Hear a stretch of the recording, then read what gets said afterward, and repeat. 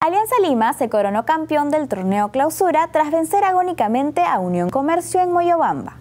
Ahora, los victorianos se deberán enfrentar a Sporting Cristal para conocer quién será el equipo que dispute la gran final del torneo ante Deportivo Binacional.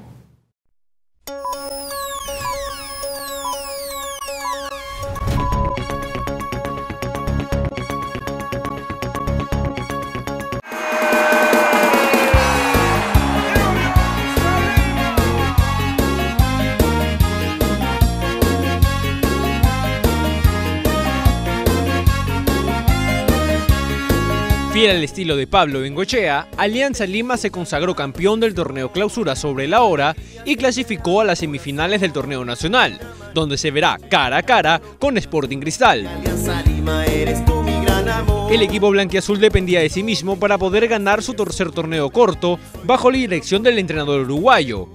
Gracias a los goles de Carlos Beltrán, Federico Rodríguez y el golazo del capitán victoriano Rinaldo Cruzado, Alianza le dio vuelta en Moyobamba tras vencer por 3 a 2 a Unión Comercio. Sabíamos que con un, triunfo íbamos a jugar la semifinal con Cristal, eh, nos, mentalizamos para eso y bueno, se dio así, sabíamos que iba a ser difícil también porque Unión Comercio también se jugaba la permanencia, y, pero bueno, gracias a Dios se pudo, se pudo el resultado que queríamos. ¿no? Ahora los íntimos ya se preparan para lo que será la semifinal ante Sporting Cristal, que pese a caer goleados en Juliaca ante Binacional, cerraron el torneo en lo más alto de la tabla acumulada.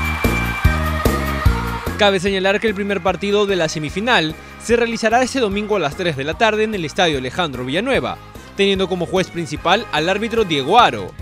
Mientras que el partido de vuelta se jugará en el Estadio Nacional el próximo martes 3 de diciembre a las 8 de la noche. Todavía porque al fin es la vida